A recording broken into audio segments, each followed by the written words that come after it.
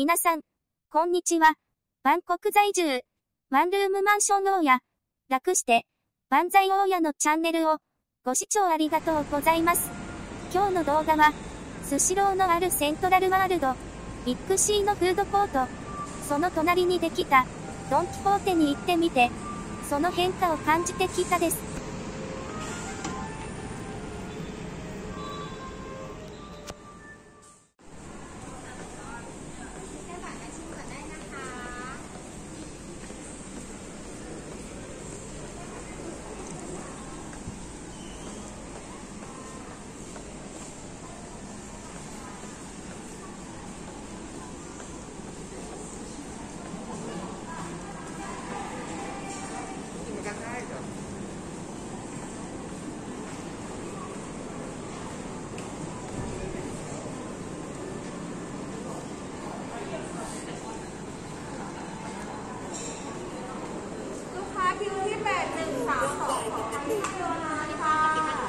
ก็เออซ่องโก้งสองคนนะคะรอประมาณหนึ่งชั่วโมงครึ่งนะคะหนึ่งชั่วโมงสามสองค่ะ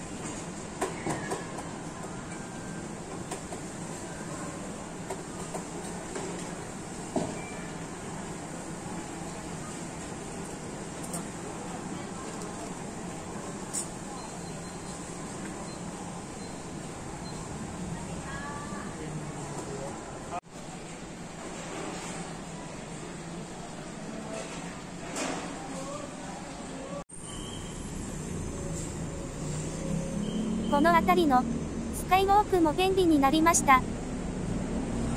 バンコクは BTS の真下にもたくさんのスカイウォークができています。万歳大家が初めてこの地に来た時とはかなり違ってきています。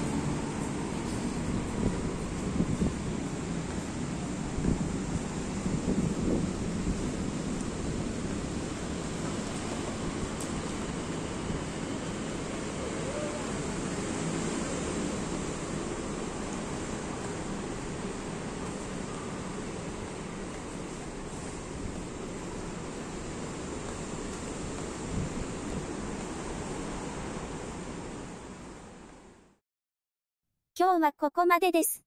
見てくれてありがとうございました。チャンネル登録もよろしくお願いします。それじゃあ。